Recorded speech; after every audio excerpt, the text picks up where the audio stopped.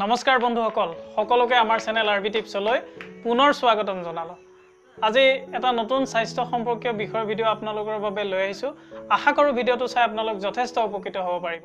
বন্ধুসকল তীব্ৰ গৰমৰ প্ৰকোপত গৰমৰ পৰা আমি ৰক্ষা পাবৰ বাবে প্ৰায়ে শীতল পানীয় বা ক'ল্ড ড্ৰিংকৰ আশ্ৰয় লওঁ বা আমি তীব্ৰ গৰমত প্ৰায় ক'ল্ড ড্ৰিংকছ সেৱন কৰোঁ।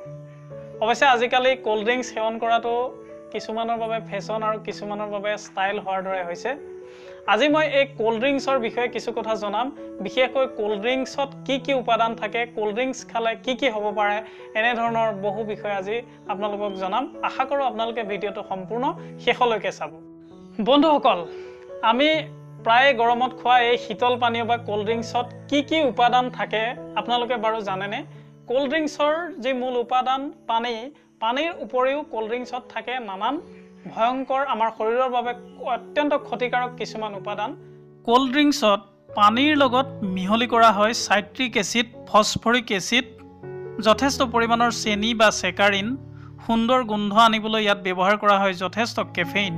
কিছুমান ক'ল্ড ড্ৰিংকছত বটলৰ খপ বা ঠিলা মৰাৰ আগতে উচ্চ চাপযুক্ত কাৰ্বন ডাই অক্সাইড গেছ ভৰোৱা হয় যাতে খোলাৰ লগে লগে গেছ বাহিৰলৈ ওলাই আহে আৰু বুৰবুৰণি উঠে।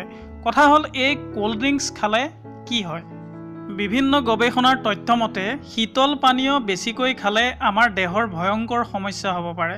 বিশেষকৈ সকলোতকৈ বেছি ক্ষতিগ্ৰস্ত হ'ব পাৰে আপোনাৰ শিশুটি। যদিহে আপোনাৰ সন্তানক মৰমতে মেংগ' জুচ বুলি ৰাসায়নিক কেমিকেলযুক্ত এই ফলৰ ৰস বেছিকৈ খুৱায় তেতিয়াহ'লে শিশুৰ দৈহিক বিকাশত বাধাপ্ৰাপ্ত হ'ব। শীতল পানীয়ত ব্যৱহাৰ হোৱা ৰঙে কৰ্কট বা কেঞ্চাৰ ৰোগ সৃষ্টি কৰাত সহায় কৰে। ক'ল্ড ড্ৰিংকছে মেদবহুলতাত সহায় কৰে। মধুমেহ বা ডায়েবেটিছ ৰোগীৰ বাবে এনেধৰণৰ পানীয় অতিকৈ ক্ষতিকাৰক। ক'ল্ড ড্ৰিংকছ বেছিকৈ খালে আপোনাৰ দাঁতৰ এনামেলৰ ক্ষতি হোৱাৰ সম্ভাৱনা দুগুণে বাঢ়ে।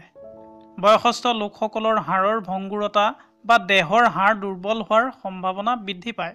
এলাৰ্জি হাঁপানি হৃদৰোগত আক্ৰান্ত ব্যক্তিসকলৰ বাবে শীতল পানীয়ত ব্যৱহাৰ কৰা প্ৰিজাৰ্ভেটিভে সাংঘাতিক অপকাৰ কৰে।